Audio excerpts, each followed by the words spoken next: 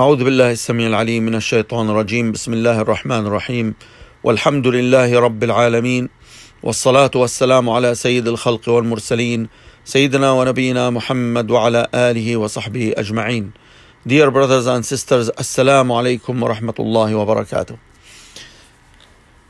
Here is Ramadan is almost over. We have done a lot of good deeds in Ramadan. We tried our best to come closer to Allah subhanahu wa ta'ala every day and every night in the month of Ramadan. But I am reminding you with one th- advice is very important. How we will say goodbye Ramadan. Actually, we should have the same feeling when we started the month of Ramadan, the month of Al Khair, the month of the good deeds When we welcomed Ramadan, these, we should have the same spirit and the same power when we say goodbye Ramadan. Allah subhanahu wa ta'ala said, ولا تكونوا كالتي نقضت غزلها من بعد قوة أنكاثا. In Surah An-Nahl verse 92, Allah subhanahu wa ta'ala said, Don't be like that woman which she corrupted all what she did. All what she did. So in Tafsir al-Tabari and Tafsir ibn Kathir, they mentioned that there was a kind of a stupid woman in Mecca before Islam. She used to have a servants working for her every day. So they used to come and do the wool work until it is the noon time, from morning till noon time. Then that woman in the afternoon, she she's telling them to stop everything they are doing and to go and untie and distract and remove what they have done from morning till that time, which means they corrupted everything they do the whole day. So it was an example of foolish stuff. And Allah subhanahu wa ta'ala, He's reminding us not to be like this stupid lady by destroying whatever we have did and whatever we tried our best to do from the beginning uh, from the, the beginning of the month or whatever we did for the sake of Allah. And here I'm just focusing about the month of Ramadan.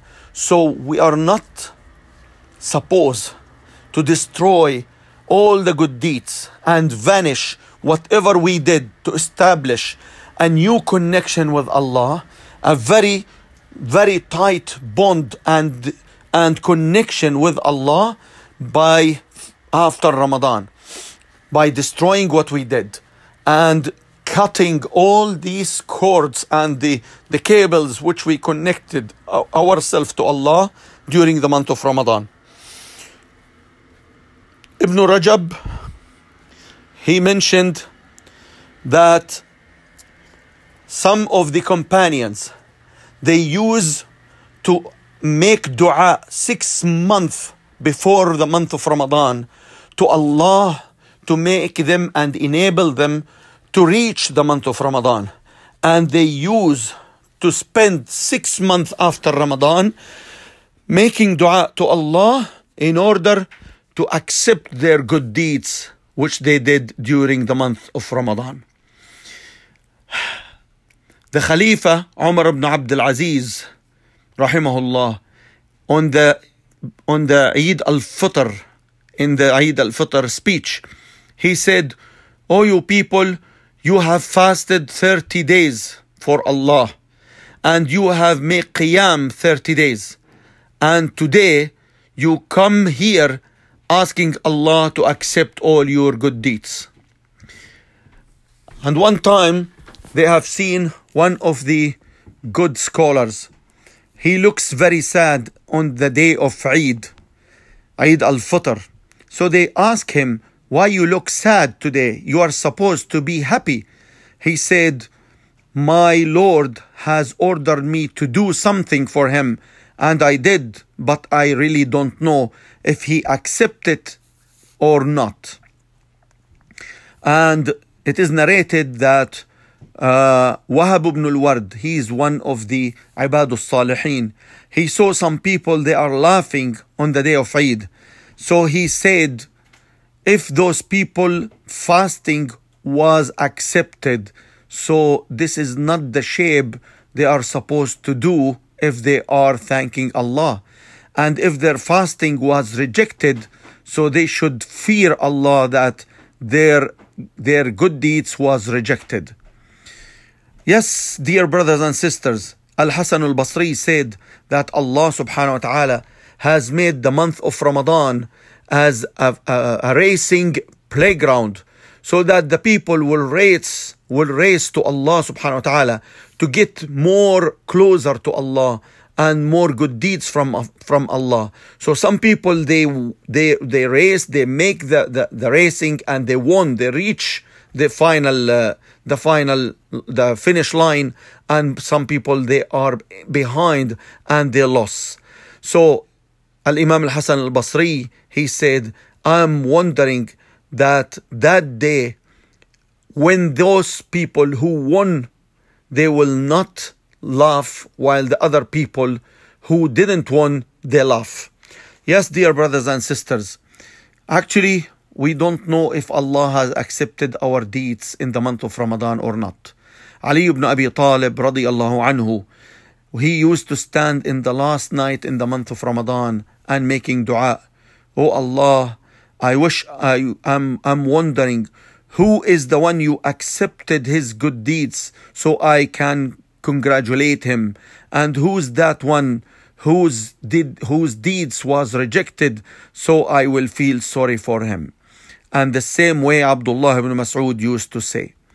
Dear brothers and sisters, we tried our best in the month of Ramadan to maintain our prayers in the ruku' and in the sujood and to establish the khushu' in our prayers. And we make dua and we cry and our tears dropped in, the, in, between the hands of Allah subhanahu wa ta'ala and we did our best in order to come closer to Allah subhanahu wa ta'ala and the fasting was our shield against the desires and the shaitan during the whole month. So, dear brothers and sisters, after the month of Ramadan, shall we quit all what we did? Shall we quit that connection with Allah? Shall we quit the fasting which we which enable us to come closer to Allah subhanahu wa ta'ala? Yes, dear brothers and sisters.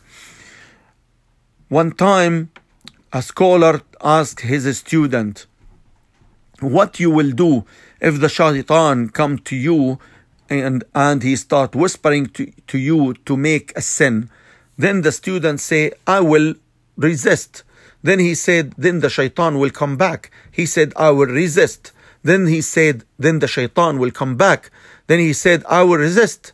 Then he said, Imagine if you were passing in the road and you saw that the dog belongs to shipper. He come in front of you and he start parking, preventing you to come forward. What you gonna do? He said, I will resist the dog and I will try to continue my, my, my road. Then he said, listen, this is never ends, but you should go to the one who is the Lord for this dog. Go to your Lord and ask his help. Yes, dear brothers and sisters, we should ask Allah help subhanahu wa ta'ala all the times. So the month of Ramadan was an opportunity where the shaitan and the shayateen, the devils, were chained. But after the month of Ramadan, the shaitan is free. And we need the big help from Allah subhanahu wa ta'ala. We need the help from Allah subhanahu wa ta'ala in order to do more for Him and to come closer to Him subhanahu wa ta'ala. The Prophet sallallahu alayhi wasallam said, in the authentic hadith that Jibril come to him and he told, O Muhammad, live whatever you want, at the end you're gonna die. Love whomever you want, at the end you're gonna leave him. And do whatever you want, at the end you will be responsible and will be asked for it.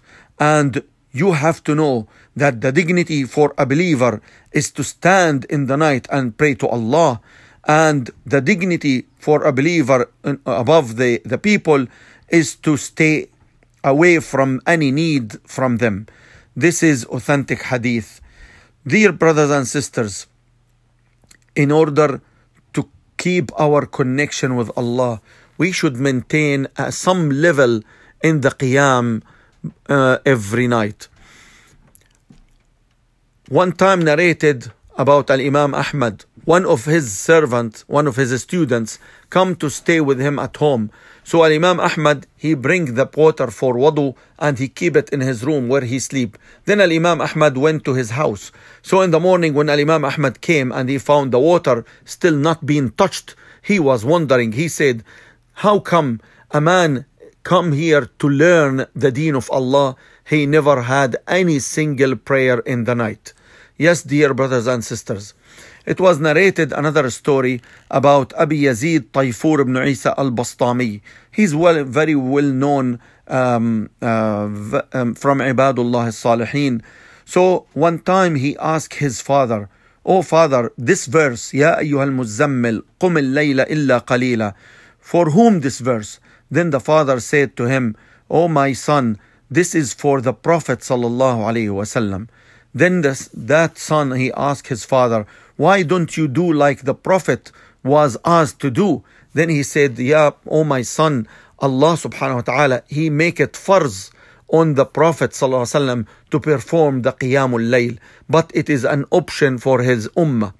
Then when he learned the second verse, إن ربك يعلم أنك تقوم أدنى من ثلثي الليل ونصفه وثلثه وطائفة من الذين معك that Allah subhanahu wa ta'ala knows that you are doing the qiyam even less than two third of the night and even less than half and even less than third and some or some of your followers with you then the son asked his father who is those fellows who were standing with the prophet wasallam then the father said they are the companion of the Prophet ﷺ.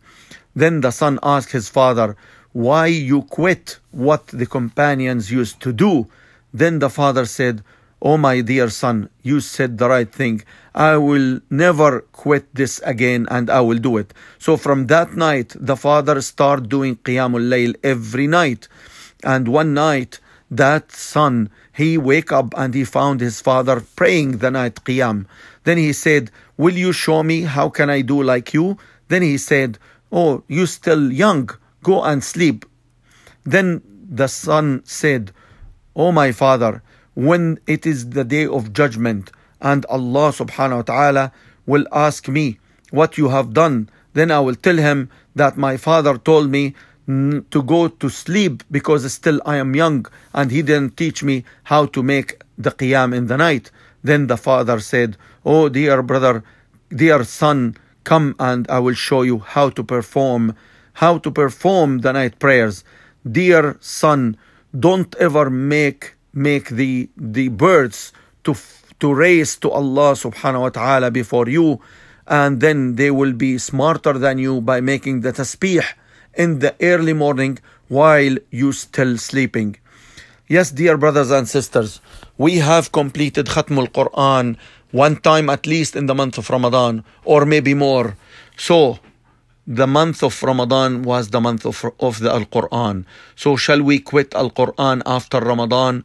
Abu Huraira said, radiallahu anhu, that the house where Al Quran was, was recited in it, the house will be enlarged and will accommodate the people who's living with them, and the house will be blessed, and the angels will come in, and the devils will go out. While the house where there is no Quran in it, it will be it will be tight for its people uh, to accommodate them and then it will be less blessed house and the angels will go out and the shaitan will come in.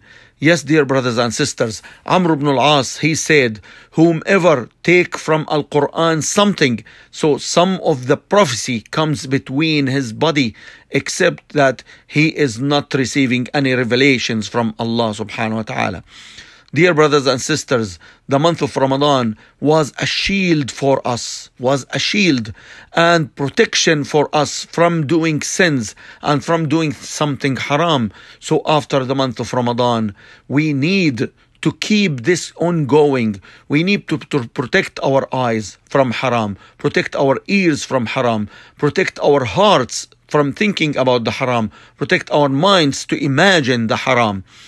Yes, dear brothers and sisters, one time the Prophet wasallam he told his companions, "You have to shy from Allah, the right shy." They said, Ya Rasulullah, we really do shy from Allah. Alhamdulillah. He said, It's not that, but to shy from Allah, the right shy, is to protect your head and what is in it, and to protect your tummy and what is in it, and to remember the death and the vanish from this life, and whomever seek the day after, he should quit the decorations and the luxury in this dunya. Yes, dear brothers and sisters, indeed, we should always keep our connection with Allah subhanahu wa ta'ala. We should always remember that even the month of Ramadan is over, but our deen is not over, and we are accountable for all our actions and all our deeds. So don't let the shaitan to take you away from the path of Allah, from the connection with Allah. You work hard and hard in the month of Ramadan to establish a good connection with Allah and to have the khushu' in your prayers and to be focused in your recitation of the Quran and to stand in the night in the night and doing some qiyam and making dua so don't quit all this after the month of Ramadan is over dear brothers and sisters Qatada and Sa'id ibn al-Musayyib, may Allah merciful with them, they used to say, whomever didn't get the forgiveness in the month of Ramadan, then when he's gonna get it? Whomever was not accepted in the in the night of the power, then when he will be connected and accepted. Whomever was not fixed in the month of Ramadan, then he will be fixed when he will be fixed after Ramadan. Yes, dear brothers and sisters, yes, we are saying goodbye to the month of Ramadan, but we shouldn't say goodbye for all the actions and the and the, the, the, the deeds which we used to do in the month of Ramadan. We should keep the connection always established after the month of Ramadan. The Prophet ﷺ was asked one time, What is the best good deeds Allah loves most? He said, the continuous good deed, the con- the consistent good deeds, even it is a small. So that's how it is, dear brothers and sisters. Even it is a small good deeds, doesn't matter, but you should be consistent. We should have some time in order to read the Quran and understand the Quran. We should continue focusing in our prayers. We should continue establishing the night prayers, even two rak'ah at least, and do the dua every night to Allah subhanahu wa ta'ala. And keep your connections and give charities and make help people and help each other. Remember what you have done in the month of the of Ramadan it will be accepted if you continue doing the good deeds after the month of Ramadan. So, this is what the scholar said. If you want to know that your good deeds in the month of Ramadan was accepted or not, check yourself after the month of Ramadan. If you become better than before the month of Ramadan, or worse. So if you are better, then inshallah your good deeds was accepted. But if you reverse after the month of Ramadan and then you become worse uh, than what you have been before the month of Ramadan, then God forbid your good deeds was rejected. May Allah forbid. May Allah accept our good deeds and help us to keep going and doing all the good deeds which we used to do it in the month of Ramadan to please Allah subhanahu wa ta'ala and to keep our connection with Allah subhanahu wa ta'ala. Walhamdulillahi Rabbil Alameen.